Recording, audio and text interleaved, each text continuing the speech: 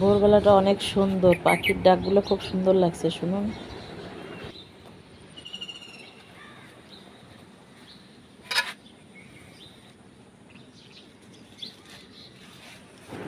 ফুল তোলা শেষ, এবার রান্না করব লাউ আর ছোলার ডাল।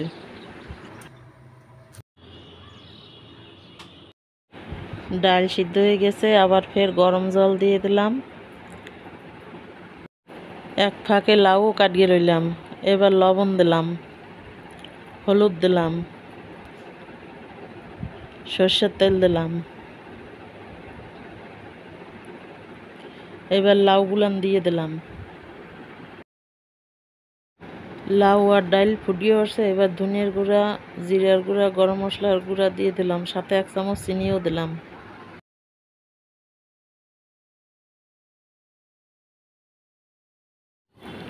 সব দেওয়ার পর যেই ফুটিয়ে উঠছে, সেই সময় ফোড়ন দিলাম, শুকনা ঝাল আর কালো জিরে দিয়ে সরিষার তেলে।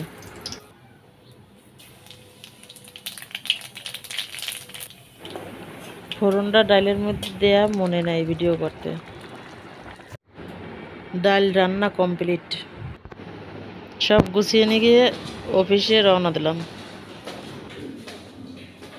নমস্কার বন্ধুরা। আর এস লাইফ স্টাইলে সবাইকে স্বাগত জানাই। সবাই ভালো আছেন নিশ্চয়ই? আমি অফিসে এসে গেছি, কাজে ঢুকে গেছি। যদি পারি ফাঁকে ফুঁকে টুকিটাকে একটু হয়তো ধরবো, কারণ অফিসে সবসময় তো ফোন এলাও নাই।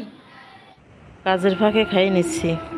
খাওয়ার আগে একটা এবং পরে একটা ডেলিভারি হয়। পরে ডেলিভারিটা ব্রিজ ছিল, তাই ডেলিভারি হয়েছে। এই বাচ্চাটা প্রথম ডেলিভারি হয়েছে। ব্রিজ পজিশনে ছিল। উল্টো ছিল বাচ্চাটা ব্রিজ প্রেজেন্টেশন ছিল।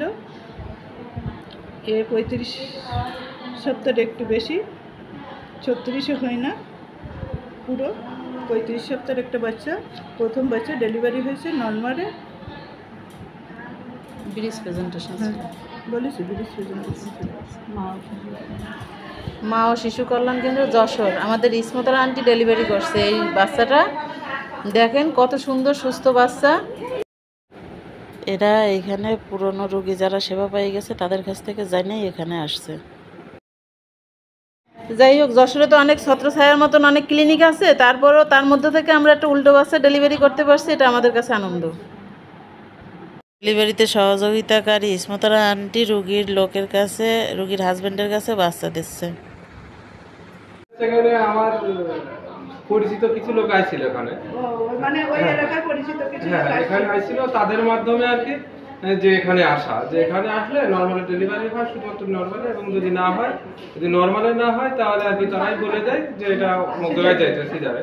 এই কারণে এখানে আসা মানে আমাদের কোনো কর্মীর মাধ্যমে না শুধু আপনারা রুগীদের মাধ্যমে হ্যাঁ, রুগীদের রুগী মাধ্যমে। আজ এ পর্যন্তই। ভিডিওটি ভালো লাগে লাইক কমেন্ট শেয়ার করেন সাথে সাবস্ক্রাইব করেন।